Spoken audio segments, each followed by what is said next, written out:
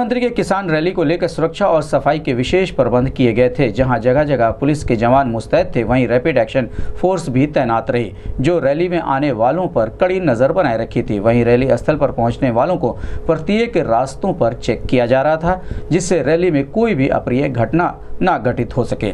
इसके साथ रैली स्थल पर सफ़ाई की व्यवस्था भी चुस्त दुरुस्त रही। नगर स्वास्थ्य अधिकारी लगातार सफ़ाई कर्मियों को सफ़ाई के निर्देश देते रहे। फ़िलहाल प्रधानमंत्री की किसान रैली सकुशल संपन्न हो गई। बहुत अच्छा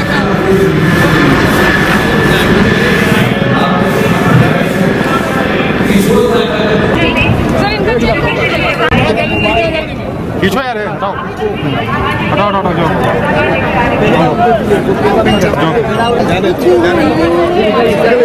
अलग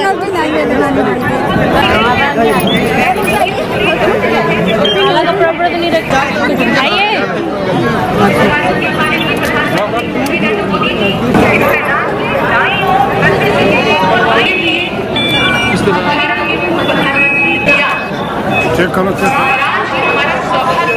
जल्दी आओ